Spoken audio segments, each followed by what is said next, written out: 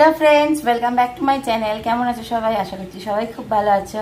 তো আজকে আমার ডিনারে আছে তন্দুরি রুটি, আর এখানে আছে হচ্ছে চিকেন চাঙ্গেজি আর এখানে কাঁচা পেঁয়াজ। তো চলো খাওয়া শুরু করছি।